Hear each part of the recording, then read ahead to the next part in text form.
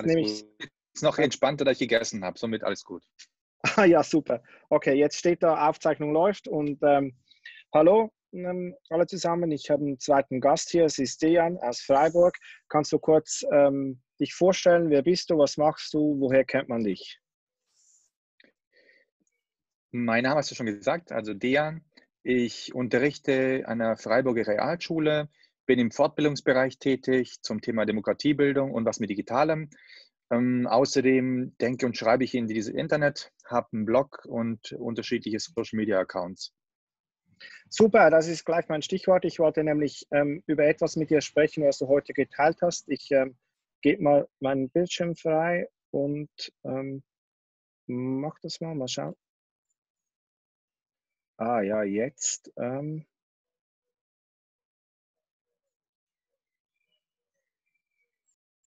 Also ich versuche es nochmal, Entschuldigung. Ähm, ich schneide das dann natürlich alles total raus. So, jetzt geht's. Ähm, und zwar wollte ich hier zeigen, dass du auf Facebook ähm, das geteilt hast, dass du mit Klassen ähm, Infos zu aktuellen Themen liest und die besprichst. Ich zeige mal hier das Beispiel, das du ähm, geteilt hast, ist sehr interessant. Das zeigt nämlich, wie sich ähm, diese virale Erkrankung ausbreitet und ähm, da werden so verschiedene Fälle simuliert. Also das sind jetzt ähm, seine Familie, fünf Personen, die stecken sich jetzt alle an und werden dann irgendwann wieder gesund. Ähm, und da haben wir jetzt den Fall, das sind ganz viele Menschen. Ein Teil davon ist in Quarantäne, aber die Quarantäne ist dann irgendwann undicht. Und ähm, wie breitet sich dann die Krankheit aus, in welche Geschwindigkeiten? Du hast jetzt vorgeschlagen, dass man das mit ähm, Klassen Schülerinnen und Schülern lesen sollte. Wie gehst du da vor, wenn du ganz regulären Unterricht hast und solche aktuellen Themen da einbringst? Vielleicht würde ich tatsächlich zu Beginn nochmal beantworten, die Frage, die nicht gestellt wurde, wieso ich das mache. Weil ich ah, ja, tatsächlich davon, davon ausgehe, dass ähm, zu Beginn als Lernprozess immer eine Frage sein muss und die Frage oder ein Problem sein muss, ein Problem, was die als ihr Problem empfinden. Und es gibt einfach jetzt nichts Authentischeres als dieses Problem, was tatsächlich uns alle gerade beschäftigt. Und deswegen würde ich die Notwendigkeit sehen, das im Unterricht aufzugreifen. Und die andere, äh, der andere Ansatz, die andere Vorstellung ist, dass ich einfach nicht glaube, dass junge Menschen anders lernen, als wir lernen. Vielleicht haben sie andere Bezugsquellen, aber vom Prinzip her lernen sie, lernen sie gleich. Und ich zeige aber einfach nur auf, wo ich jetzt meine Informationen beziehe und wie ich damit umgehe. Und äh, ich würde jetzt im klassischen Unterricht, würde ich jetzt diesen Beitrag Ihnen zur Verfügung stellen, würde dazu ein Etherpad öffnen, äh, in das Sie dann Ihre Fragen, die Sie während dem Lesen haben, die sich Ihren stellen, reinschreiben würden. Das heißt, zu diesem Beitrag äh, gebe ich aber meistens auch so Tools wie DeepL mit, wo Sie eben das übersetzen lassen können, falls das Englisch von Ihnen nicht ausreicht. Äh, und weil jetzt auch natürlich das Tempo unterschiedlich ist von den, von den äh, Schülerinnen und Schülern, äh, ist es auch im Endeffekt auch völlig egal, wie schnell die sind. Wenn sie ihre Frage stellen oder sich an die Frage stellt, gehen sie ins Etherpad rein, schauen, ob die Frage schon dasteht. Falls nicht, schreiben sie sie rein. Falls sie dastehen sollte, arbeiten sie einfach weiter. Nach diesem ersten Fragen sammeln ähm, haben wir meistens so eine kurze Plenumsphase, wo wir so ein bisschen versuchen, die Fragen zu sortieren und zuzuordnen.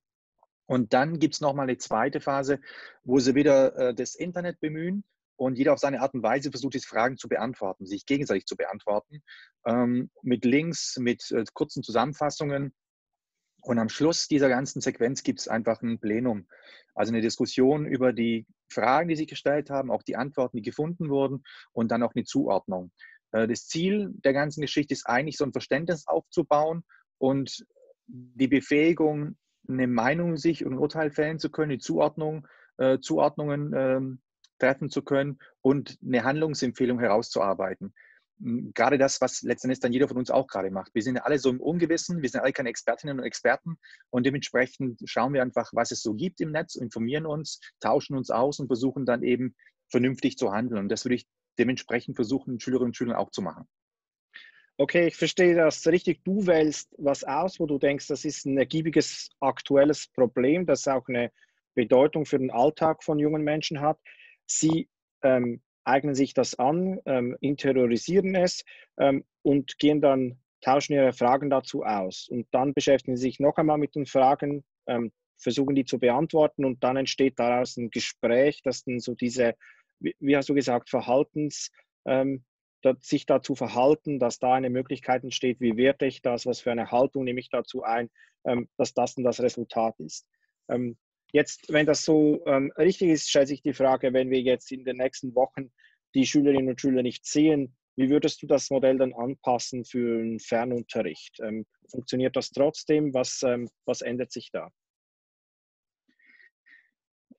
Also vom Grundkonzept her ändert sich gar nicht so viel, bis auf diese Plenumssituation, wo man sich austauscht. letztendlich können wir auch das auf, aufs Etherpad dann äh, auslagern. Es ist natürlich nicht ansatzweise, hat es nicht die Qualität, die es dann in so einem Plenum hätte. Das heißt, dass wir uns einfach sehen und austauschen und schnell aufeinander agieren. Unsere, also jetzt unabhängig davon, ob wir jetzt eine Konferenz machen oder nur über dann so ein Dokument uns austauschen, dass ich einfach einen anderen sehen kann, anfassen kann, dass man ist das eine völlig andere Situation. Das heißt, das kann ich jetzt nicht simulieren. Ähm, mhm. Ist aber erstmal für so eine Krisensituation gar nicht so dramatisch. Für mich ist tatsächlich eigentlich die Chance, die sich gerade bietet, so wichtig. Und zwar, was, ich, was man jetzt eigentlich wunderbar sieht, es wird so häufig über diese 21st Century Skills gesprochen, diese vier 4Cs, also die vier Ks, das Kreativität, Kommunikation, kritisches Denken und äh, Kollaboration. Und genau das kann ich eigentlich jetzt anwenden. Das heißt, dass ich eigentlich jetzt versuche, kreative Lösungen zu finden, um eben Lernen äh, zu ermöglichen, ohne dass man in dem Fall im gleichen Raum ist, dass ich die Kommunikationskanäle nutze, die die Kultur der Digitalität nun mal bietet, dass ich eben kritisch denke im Sinne von, was sich einfach jetzt ja auch gerade sehr viel auftut, auch in unserem Umfeld zu dem Thema, dass eben Fake News jetzt kursieren, gerade über Messenger-Dienste zum Beispiel aktuell, dass äh, Nachrichten verschickt werden ohne Ende und dass man das besser zuordnen kann und einordnen kann und natürlich auch äh, kollaborativ daran zu arbeiten. Das heißt, eben Expertisen zusammenzulegen und zu schauen, welche Expertise äh, habe ich und wie, wie kann ich was dazu beitragen. Also ich habe tatsächlich am Ende, am Freitag hatte ich auch mit meinem Ethikus, hatten wir genau darüber diskutiert, was man eigentlich jetzt so selbst beitragen kann in dieser ganzen Krisensituation. Und da habe ich zum Beispiel jetzt dich und dein, dein, deine, ja, deine Initiative, die du jetzt ergriffen hast, um einfach Leuten zu, Zugang zu ermöglichen, deine Expertise zur Verfügung stellst, eben als Beispiel genannt. Und da haben sie auch sich überlegt, als sich so eine Handlungsempfehlung auszuarbeiten, was, was sie eigentlich jetzt machen könnten und tun mhm. könnten in dieser Krisensituation. Ja, ich denke, das ist auch vom Gefühl her ganz wichtig, dass man den Eindruck hat, ich kann das beitragen, nicht nur, ich bin möglicherweise, ich muss Angst haben, irgendwas passiert jetzt, wo ich total passiv bin. Ja, das finde ich, finde ich sehr wertvoll. Also diese, die Minimalanforderung, die du hast, ist, du musst diese Newsbeiträge irgendwie, diese Fragestellungen zu den Klassen bringen und dann haben Sie Etherpads, wo Sie diese Fragen sammeln können und ein Gespräch vielleicht auch dann dort digital durchführen können. Das könnte man so, wenn man jetzt sagt, technisch, was braucht das? Das braucht eigentlich sehr wenig, oder? Ähm, von, um das braucht tatsächlich sehr weiterarbeiten zu können. Genau, ich würde auch sagen, es braucht eigentlich sehr wenig. Was ich mir tatsächlich überlegen würde, ist einfach auf, aus, aufgrund dessen, was ich auch so ein bisschen gelesen habe, auch von Leuten, die jetzt eben äh, dieses ähm, dieses Lernen über längeren Zeitraum nur online äh, praktizieren, dass ich eben nicht gleichzeitig, also diese Belehnungsgeschichte würde ich auch wieder aufdröseln und eher versuchen, für Einzelfragen in, in Einzelgesprächen zur Verfügung zu stehen. Das heißt, dass, dass Menschen einfach nochmal mir direkt die Frage mhm. stellen können, dass ich, dass ich sie besser unterstützen kann und dass ich gar nicht jetzt künstlich das Plenum eigentlich aufrechterhalten muss, weil es muss ich technisch nicht, weil es tatsächlich dieses, die Qualität, die ich einfach, ach, also die ich habe, wenn ich ihm zusammensitze, die bekomme ich, also das kann ich jetzt nicht in die virtuelle Welt projizieren, das geht mhm. einfach nicht. Und deswegen würde ich darauf verzichten und eher sagen, ich würde dann lieber das, das, äh, das Einzelgespräch suchen und dann die Leute da unterstützen, wo, sie, wo es notwendig ist. Aber die zentrale, die zentrale Aussage ist tatsächlich eigentlich eher, dass man Probleme aufgreift, die authentisch sind, die tatsächlich ja. uns beschäftigen und die mit dran arbeiten lassen. Das ist quasi die zentrale Botschaft auch am Freitag, die ich den Schülerinnen